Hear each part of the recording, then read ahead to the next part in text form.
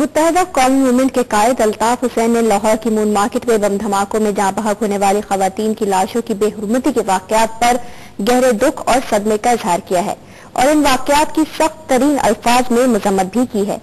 एक बयान में अल्ताफ हुसैन ने कहा कि शहीद होने वाले अफराद के लवाहकिन की जाने से इंकशाफ किया गया है कि लाहौर के अस्पतालों में खातन की लाशों की बेहरमती की गई।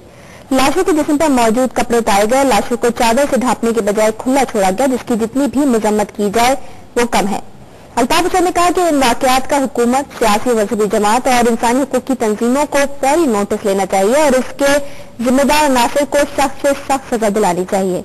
अल्ताफ हुसैन ने सदर आसिफ अली जरदारी वजी अजम गिलानी, गवर्नर पंजाब सलमान तासीर और वजी अला पंजाब मियाँ शहबाज शरीफ से मुतालबा किया है कि लाहौर के अस्पतालों में शहीद खातन की लाशों की बेहरमती के वाकत का संजीदगी से नोटिस लिया जाए।